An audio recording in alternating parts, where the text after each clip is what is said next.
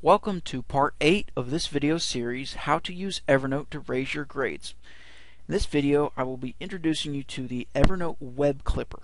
The Evernote Web Clipper is a add-on for your Firefox or Google Chrome web browser.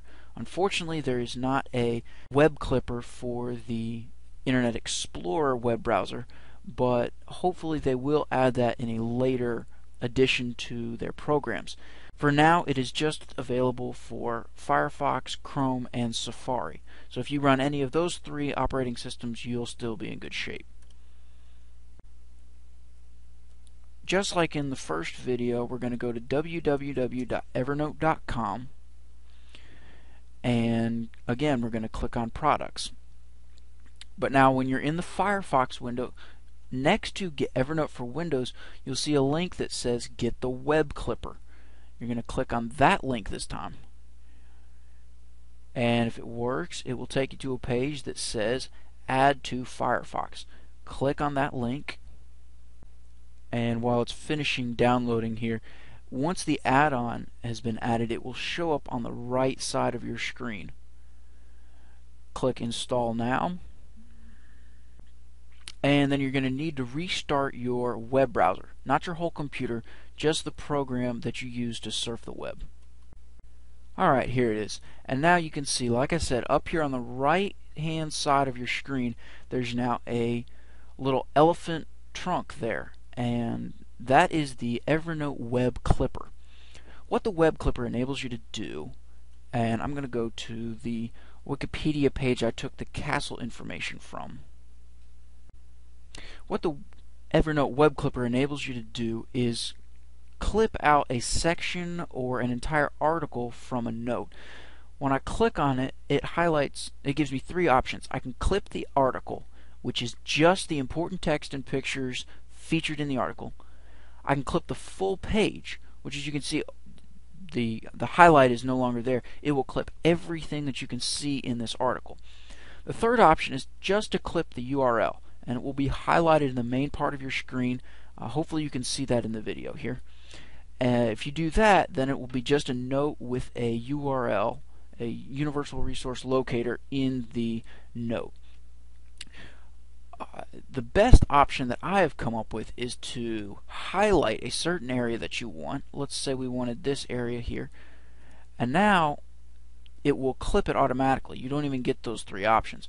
But it will take you to the Evernote program and you get to you can title your note, add some tags, and it's in the note editor so you can go ahead and edit it to make it look the way you want it to take out words or hyperlinks that you didn't need and really pare this down to exactly what you're looking for in your note let me go ahead and demonstrate again this time let's clip the URL so now here's what it looks like when you clip the URL again it will be a generic title based on the web page you took it from it will clip the source link here, which is really great because then you can go back and find your materials anytime you want. This works no matter how you use the web clipper, it will always grab that source and stick it in your note. And then here's the URL that we clipped. Alright, let's go ahead and do a full page clipping this time. So we're going to use the same article, but we're going to clip the full page. And again, a little pop-up here to make sure you actually want to clip the full page. There's not many times you'll want to do this, but for this video I'm going to show you the example. Working on clipping the full page. It's going to have lots of extraneous pictures and hyperlinks in there.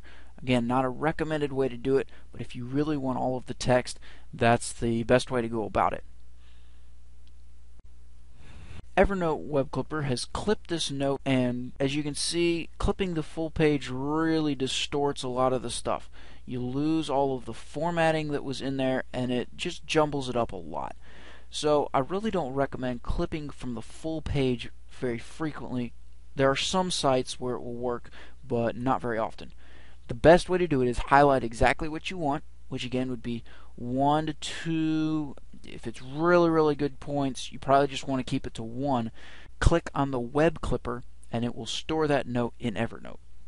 This is when it's important to know what your default notebook is because when you click on the web clipper it will store in your default notebook.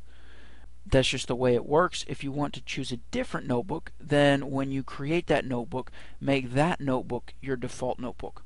For more on that, you'll need to go back and watch the video on notebooks and stacks. But for now, that's it for the Web Clipper. It's a really awesome add-on that works with Firefox, Chrome, and Safari web browsers. Uh, in those other programs, it works exactly like it does in Firefox, and I recommend that if you don't already have one of those web browsers, that you download that and use the Evernote add-on. In the next video, I will talk about the Evernote web portal.